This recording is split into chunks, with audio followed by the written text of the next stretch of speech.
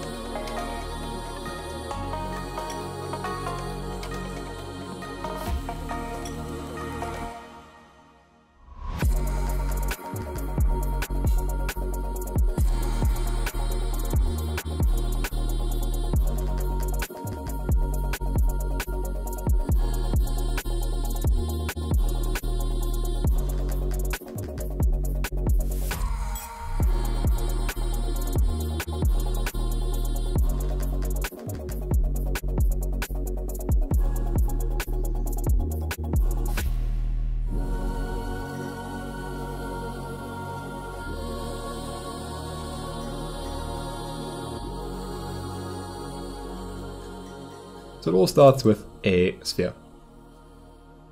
This is a sphere where I scatter some uh, cubes onto an area. I basically just paint an area, scatter cubes onto it, um, adjust their rotations, clean it up. But there is a fun little trick over here. So if you take a look at this, right, after I've done this whole boolean thing with all of my spheres and um, these cubes, what you end up with is a little bit of a mess. Because once you convert to VDB and do this connectivity thing, you'll see there's these little pieces, right? There's floating pieces. And they could be everywhere. Like they end up inside, outside, there's a piece over there. Um, you can see over here that it says gather 12 in this for each. So that means that there's 12 loose pieces. Now, that's an issue if you want to do something like UV unwrap measure. So what I do is for each of these pieces, and I'm going to switch to single pass so I can show you, said for each of these pieces, do some measuring. Measure the area.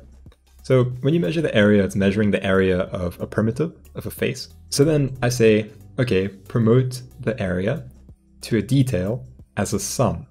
So what that's saying is for the whole piece of geometry, add all of the areas of all of the faces, and then promote that as a point attribute. What that allows is for me to find out what the biggest piece is. Because whichever piece has the highest area must be the biggest piece of geometry because it has the most faces contributing, right? So what I can do with that is find max area. Once again, using a promote, you go from area to detail with the promotion method of maximum. So if we take a look at the geometry spreadsheet, here's all of the areas, right? So 18 all the way down to like 0.004, right? So crazy small values. But then I also find the max area, and you'll see that the max area is equal to the biggest area value, right? 18.3259. And so that's pretty cool because then you can say if the area doesn't match the max area, then remove those pieces. So that's what I do over here. I just say if the area is less than the max area, remove the point. So you can see it removes all those small pieces, right? So that piece over there, gone. It only keeps the biggest piece. And this is a really nice little technique for removing the smallest pieces. And you always keep the biggest piece. So once again, just clean that up and remesh it. Nice little piece of terrain. Auto UV. I just finished recording this and I realized that half of the files that I used to record this were corrupted because I ran out of disk space. So um, I have to do that all again. So let's go. Now I couldn't really decide what I wanted to show. Um, I think I'll, I'll show grass. So the grass is kind of interesting because this is not simulated, right? You can play this back. This is real time. This is not simulated in any way. It's just sops. This is all sops. Cool thing is, you can paint it wherever you want and you can have grass anywhere. So, you know, if you want to use this in your own project, feel free. What I do is I paint areas. So you can see, paint some areas like that, scatter points into those areas, um, basically fuzzy up the, the positions of all of these points, and then move them up and duplicate over, merge those together. So you end up with these that are offset. You can add them together to get blades of grass, resample it to get curve U, add some noise. But this noise I store as an attribute called noise, right? I don't actually apply it. What I do is in the next attribute wrangle, I apply it only in certain areas. So you can see here, I say that P should have that noise added to it, but only where this ramp is. So this ramp is based on curve U, once again, from 0 to 1. So you can see that all of the roots of the grass stay still, but the rest of it looks like it's blowing around. Cool thing about it is that it's only driven by this animate on the noise value. And over here you can see that I have this remap noise. It goes from minus 1 and 1 on x and minus 1 and 1 on the z-axis, but nothing on the y-axis, because grass won't change its height when it's blowing around. It will move to the left and right, um, forward and backwards, but it won't get, you know, taller or shorter. So you zero out those values, so there's no noise there. And when you render that, you just render as strands. That's if you're using Redshift, you just go over to the strands over here, and you say render object as strands. I use a similar thing with the vines. I'll show you the vines, they're also pretty cool.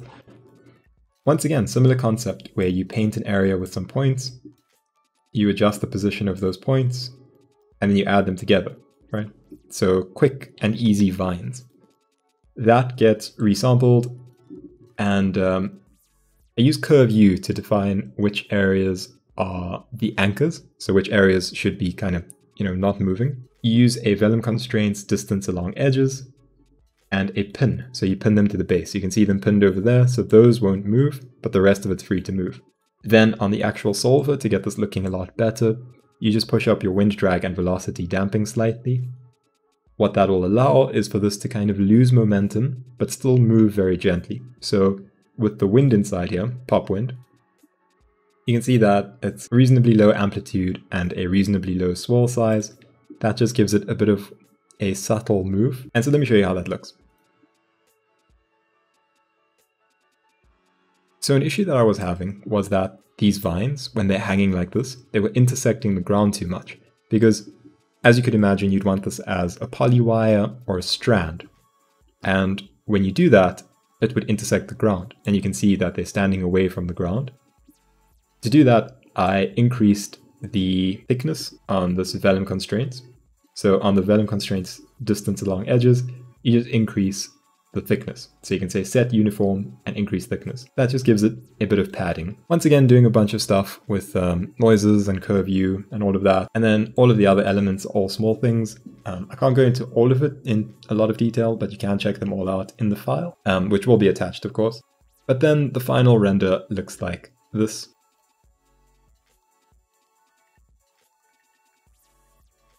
And if we go into the CopNet, I can show you that quickly.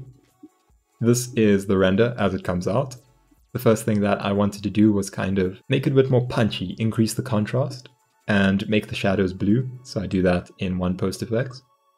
So you can see saturation increased, um, contrast increased, there's more blue in the shadows. And then um, I added a glow to the things like the fire, the mushrooms, fireflies, and then just a grain and a scale. The scale, the only reason it's there is so that on the Houdini HOULY forum, you're not getting a 4K image that um, takes forever to load. So I just scale it down from 4K to HD, 1080p.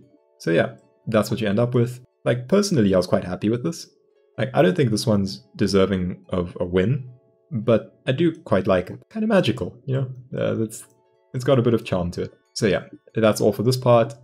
I will be back tomorrow with day 26. Day 26 is part of the last week. That week went really well, so there should be some cool things in that week that I can show you. Anyways, thank you for watching. I'll see you tomorrow.